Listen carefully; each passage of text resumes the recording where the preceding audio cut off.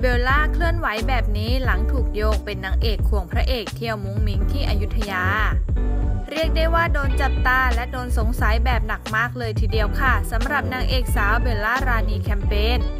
หลังจากที่เพจเมาส์ดาราเพจเก่าเจ้าประจำอย่างเจ๊มอยร้อยแปดได้ออกมาปล่อยประเด็นชวนเผือกในเชิงว่า คู่พระนางที่เล่นละครด้วยการแอบควงกันไปเที่ยวมุ้งมิ้งที่อยุธยา แถมยังเผยข้อมูลวงในอีกว่า ทั้งคู่นั้นความสัมพันธ์ไม่ใช่แค่พี่น้อง เพราะชอบกันจริงจังจนถึงขั้นไปมาหาสู่ถึงบ้าน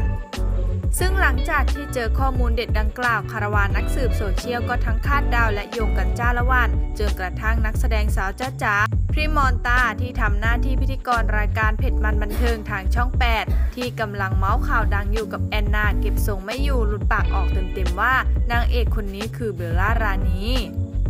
แต่ทั้งนี้ทั้งนั้นหลังจากที่ถูกชี้เป้าอย่างจะจะจังๆ แล้วนั้น ก็ยังไม่เห็นว่านางเอกสาวจะออกมาชี้แจง หรือตอบโต้กรณีดังกล่าวแต่อย่างใดแต่ทว่าล่าสุดเบลล่าราณีก็ได้เผยภาพร่วมเฟรมกับคุณแม่ปราณี